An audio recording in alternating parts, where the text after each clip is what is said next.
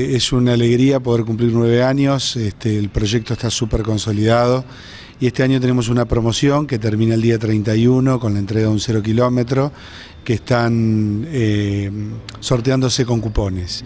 Dentro de un conjunto de actividades, digamos, ¿no? Actividades que están vinculadas a, bueno, tenemos clases de cocina, actividades de torneos, pero la verdad es que, bueno, parece Parece ayer, pero ya han pasado nueve años. ¿La entrega del cero kilómetro cuándo se va a estar concreta? El día 31, todavía quedan tres fechas de sorteo.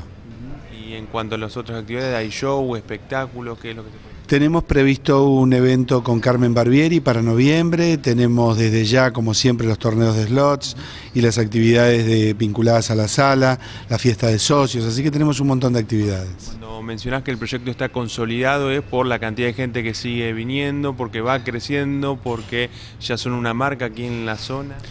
Bueno, la verdad es que sí, somos una marca reconocida, tenemos un conjunto de visitantes asiduos, tanto de la ciudad como del interior, que es lo más importante. Están muy bien posicionados los restaurantes, tanto este donde estamos hoy, que es Dique 1, el restaurante de Hotel Los Silos, como el restaurante al este. El hotel está muy bien instalado, la actividad vinculada a congresos y a convenciones. De hecho, hemos tenido este año un montón de actividades muy importantes en congresos y convenciones. Así que estamos muy contentos porque somos lo que nos propusimos ser, digamos, una actividad vinculada al entretenimiento en general, no solamente a lo lúdico. ¿Y ya se piensa en los 10 años? Sí, de hecho estamos pensando en una serie de actividades porque, bueno, 10 es un número importante y, y en realidad queremos este, hacer algo un poco más grande.